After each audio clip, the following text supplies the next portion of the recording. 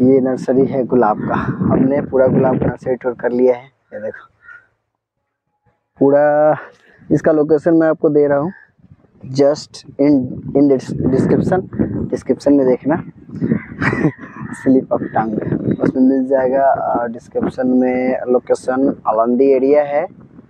और इस एरिया में बहुत गुलाब की नर्सरी है। हमने आज पूरा कवर किया। सात आठ मिनट का वीडियो पूरा देखो। मज़ा आएगा। यहाँ पर नया गुलाब तैयार भी होता है, ये देखो, और यहाँ पर सेल के लिए रेडी भी है, ये देखो, ये रेडी है, और ये अभी तैयार कर रहे हैं।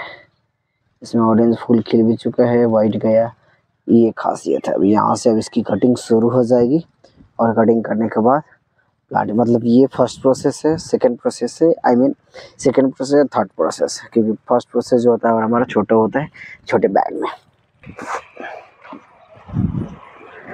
ये है वाइट पिंक वाइट पिंक कली, दो तीन कली है।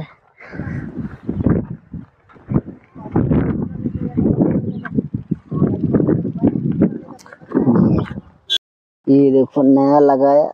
और कली बन गया। ये ले ले क्या?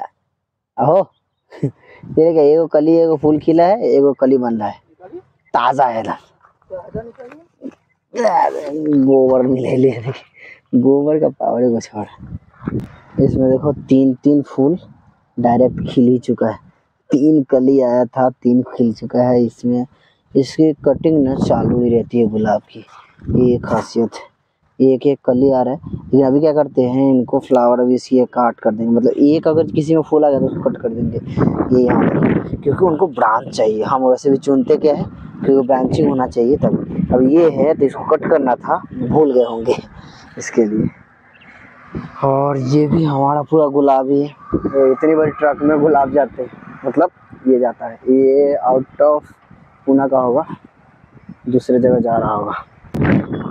ये है रेडी गुलाब और इधर रेडी हो रहा है। ये वाइट कलर के। लेकिन देखो, पुणे में जो वैरायटी आपको मिलेंगे, ये वैरायटी अलग है। वाइट और रेड का कॉम्बिनेशन ये कुछ इस तरीके से दिखता है। इसके जो फ्लावर खुलते हैं, जो डच वाले तो वो अलग है। ये देखिए, ऐसा खुलते हैं। और ये जो है सब कमल नुमा, एकदम बंद नुमा खुलते हैं। दोनों में डिफरेंस है आप देख सकते हो।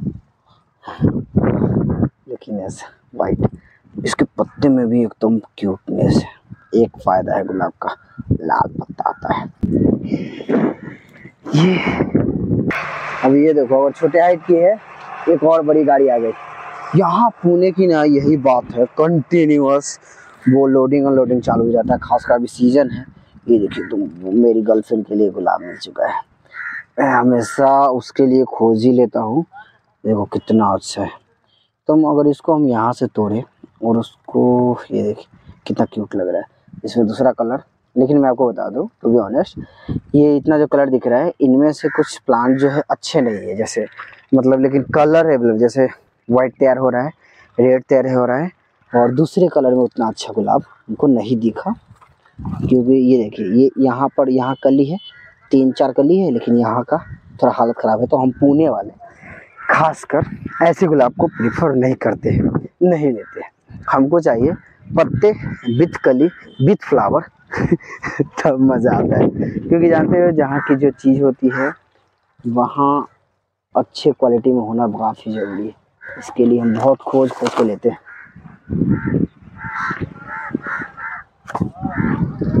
ये देखिए। ये भी लॉट वही है और लेकिन ये छोटे छोटे वाले हैं। इधर मैं सोचा कवर करता हूँ गुलाब को। मतलब ये चालू से रहता है आप डिस्क्रिप्शन चेक करना, आपको मिल जाएगा लोकेशन मैं दे रहा हूँ नर्सरी छोटी है, लेकिन ये नर्सरी आप एक प्रेफर मत करो। इस एरिया को बस जान लो, आलंदी है, और वहाँ से आप आराम से आ सकते हो। ये पीला कलर का पीला कलर का बात ही मुझे पसंद आता है पीला कलर का। वाह। ये है पिंक कलर का, ये है वाइट पिंक प्लेन वाइट कली ये है हमारा पीला कलर वाइट कलर आप देख सकते हो। मतलब मैं आपको कहने का मतलब ये है, हर कलर में आपको दिखाता हूँ। ये कोई कोई तो गजब है बाप रे इतना, इतनी कली है ना मतलब दिल खुश आता है। लेकिन ये बात है कलर अच्छा होना माँगता है। दैट्स द मेन मैटर ये है किसी ने निकाल के रखा है, इतना गुलाब। इसमें ये वाले जो गुलाब है ना, जैसे देसी, इसमें कांटा बहुत होता है, लेकिन एक बात है, इसके फ्लावर ज़्यादा आते हैं। ये पॉट में आप मत लो, बैग में ही आपको अच्छी क्वालिटी में मिल जाएगी। बिकॉज़ ये ग्राफ्टेड होते हैं, ये देखिए, इसी में देख लो आप कितनी कली है। लेकिन इसका कलर लोगों को पसंद नहीं आता है। सबसे ज़्यादा किसी को पसंद किया जाता है, वो है ये वाला।